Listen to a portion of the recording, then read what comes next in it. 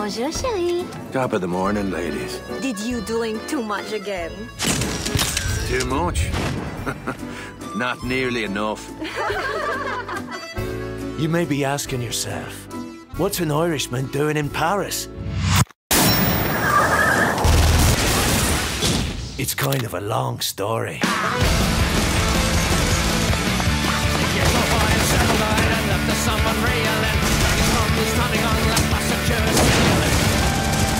Resistance grows stronger each day. Wherever there is a will to fight, our patriot soldiers will stand ready to strike back. But we'll need more than slogans when the bullets start flying. I can see that you are a busy man, Irishman. I can provide you with the tools you need to conduct your personal business. Like what? Guns, ammunition, explosives. There is no turning back now. In for a penny?